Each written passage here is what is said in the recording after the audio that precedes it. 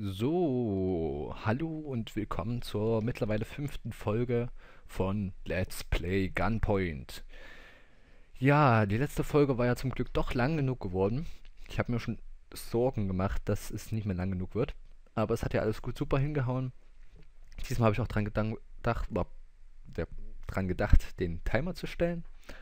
Und würde ich sagen, kümmern wir uns als nächstes Mal, wie in der letzten Folge schon angekündigt, um Rook the Trace. Oh, und ich sollte erstmal wieder ins Bild klicken. So.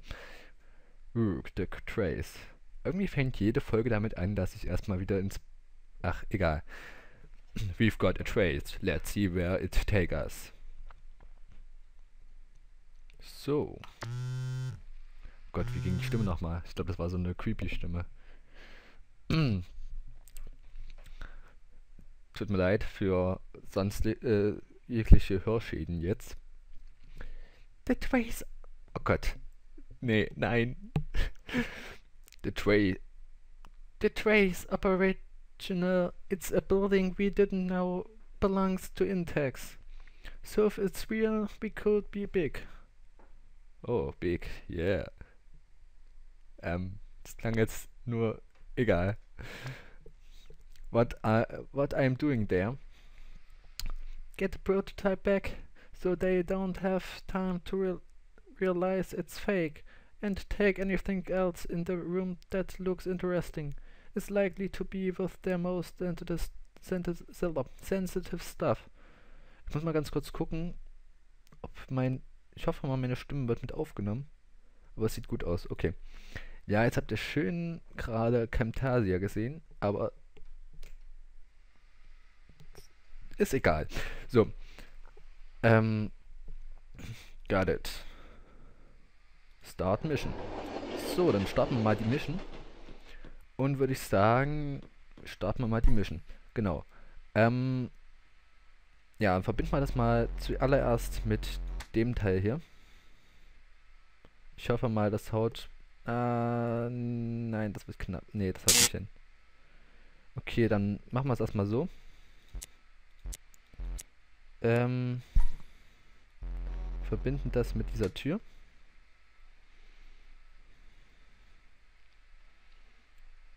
So.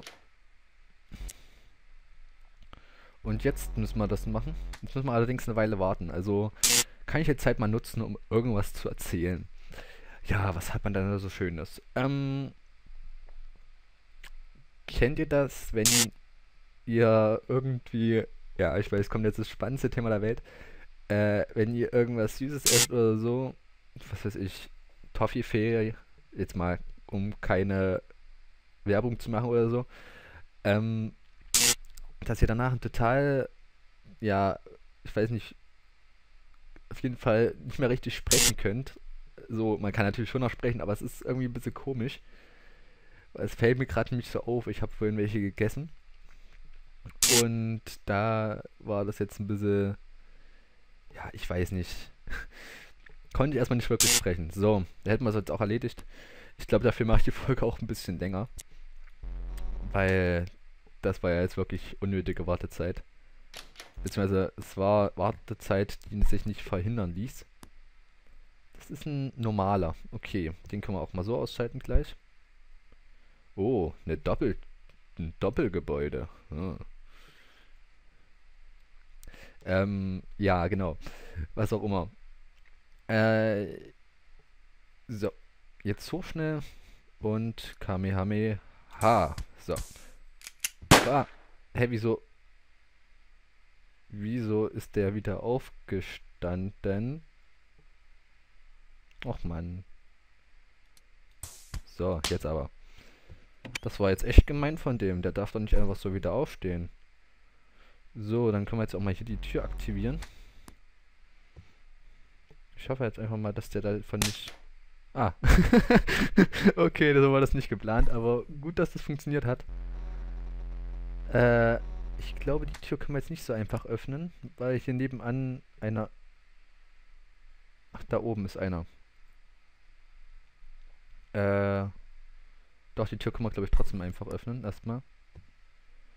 Dürfen wir eben jetzt erstmal nicht durch die Tür durchgehen, weil sonst... Pau. Und so, ne? Genau. Ähm, die ist mit nichts verbunden, wenn ich das richtig sehe. Okay. Dann können wir jetzt hier einfach hochklettern. Ähm ich sehe gerade, wir müssen sowieso noch mal dahin. Tut mir leid für die so wieder mal unnötigen, ihr wisst schon, äh, hin und her gerenne. Es ist echt nicht so gewollt, auch wenn mir das jetzt nicht glaubt. Ist eigentlich auch voll unrealistisch, dass die einen überhaupt, dass das die überhaupt nicht wundert, dass plötzlich vor denen die Tür zugeht. Na, Tür geht zu. Egal. Ich gucke jetzt einfach mal ein bisschen die Tür an. Oh, ein Türschloss. Und, oh, ein, und, äh, ich höre mal lieber auf zu reden. das ändert hier gerade ein bisschen, naja, ja, und so, ne? So, wie kommen wir jetzt hier am besten weiter? Nein, ich muss nicht schon wieder darüber, oder? Ah. So. Also nochmal runter. Okay. Jetzt gehen die ein bisschen ihre Runden laufen. Und alle freuen sich. Also zumindest ich freue mich, weil ich jetzt... Den stört das gar nicht. Auch interessant. Gut, aber den können wir jetzt ausschalten. Und wieder hoch. Ach ja, wie ich dieses Hin- und Hergerenne liebe. Ähm, Nochmal aus, so. Und jetzt damit verbinden.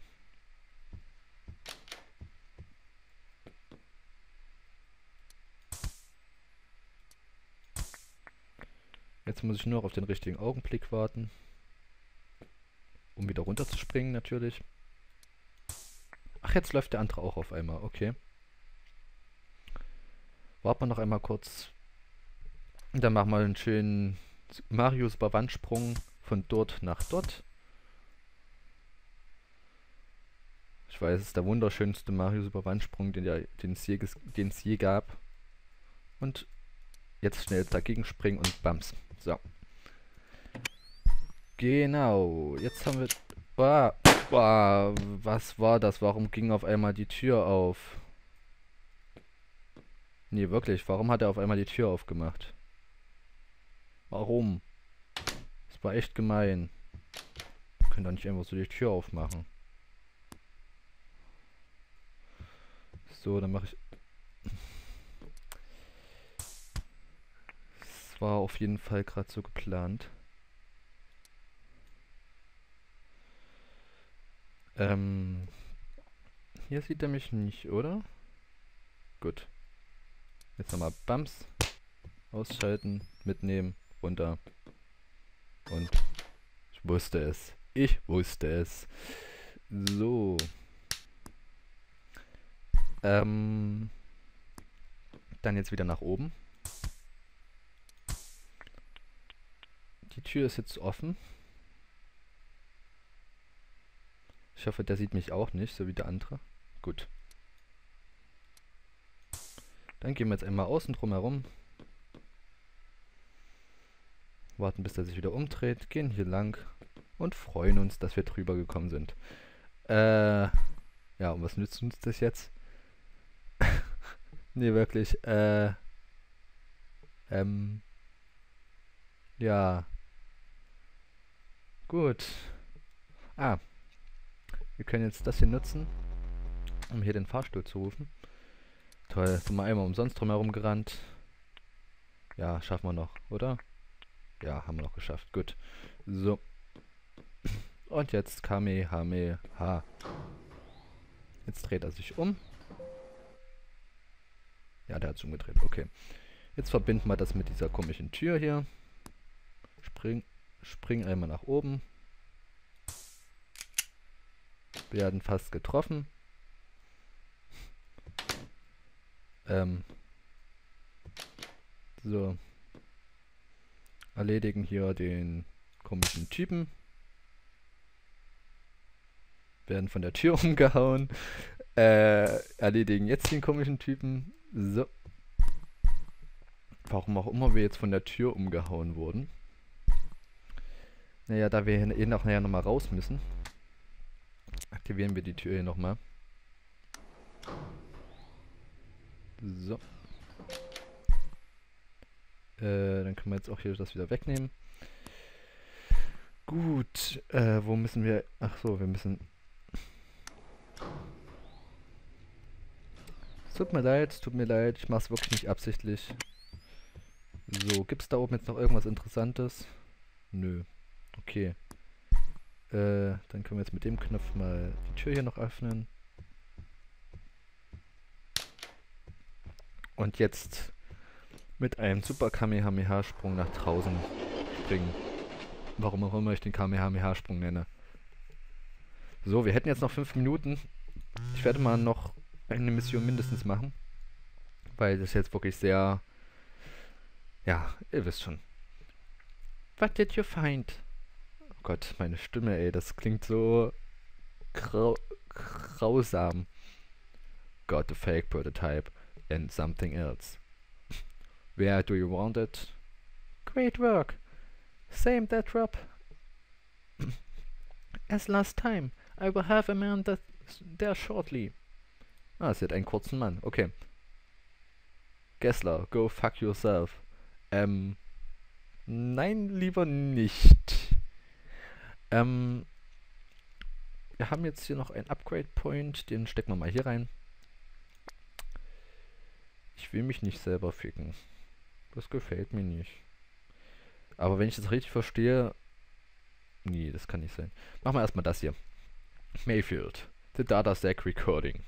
I need to uh, you to break into the data into DataSec facility to get some footage that might shed light on who killed Selena DeLego. Record a break. One of the DataSec facility the murder broke into the night and a security camera. Unfortunately, I can't get a warrant for the footage without letting my man know I've reopened the case, so I need you to get it for me.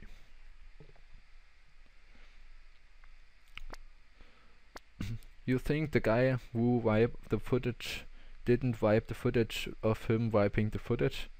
Um, was? okay. He may be not be a clever man.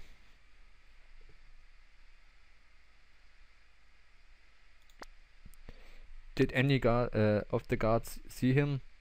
No, who could give a usable description. Guy in a coat was my favorite. Ja, es ist, klingt super. So, if I get it, nee, this, we will know who is, he is. If you walk in front of the camera, we'll know what he looks like. He may not be in our database so we'll still need to figure out how to find him. Alright how do I do it? Just get the, to the terminal at their main, main servers on the ground floor. The data will probably be encrypted again. So just uh, just copy it and send it to me when you get it out got it So. Okay, dann gehen wir mal hier ein bisschen näher ran. Schauen uns hier kurz um. Öffnen mal mit dem hier die Tür schnell. Werden wieder außer Gefecht gesetzt. Ich lerne es aber auch echt nicht. So. Jetzt warten wir noch einmal kurz. So. Dann hat man jetzt hier schon den grünen Wirejack. Mit dem grünen Wirejack könnten wir... Das könnten wir mit dem grünen Wirejack machen. Irgendwie erschließt sich mir alles gerade nicht so wirklich. Wir müssen ja erstmal durch die Tür hier durchkommen. Oder sollen wir durch das Fenster da oben einbrechen? Könnten wir theoretisch auch. Ich kann mir nicht vorstellen, da... Achso, hm. Ja. The sound detectors trigger when they hear a sound. Hear a sound, so. So, laut dem Ding wäre jetzt die Zeit um, aber das ist mir egal. They will pick up the ele elevator thing things on the same floor or loud sounds anywhere. When they hear something, they will activate what they are linked to. Okay. Dann soll der hier mal das Ding aktivieren und der hier soll den Fahrstuhl rufen. So. Dann öffnet sich hier auch die Tür. Nehmen wir das hier mal wieder weg. So. Ähm, ich wollte eigentlich das hier nehmen. So. Dann hätten wir jetzt auch den blauen. Mit dem blauen können wir äh, können auf jeden Fall mal die Tür hier öffnen. So. Ähm. Ja. Ah, genau. Dann nehmen wir mal das Ding hier. Verbinden das mit der Tür. Nehmen den. Machen wir es eben ganz umständlich. Machen wir das mal hier hoch. Dann schicken wir den wieder hier runter. Das grüne verbinden wir mit der Tür. Und jetzt müsste es eigentlich alles funktionieren. Eigentlich.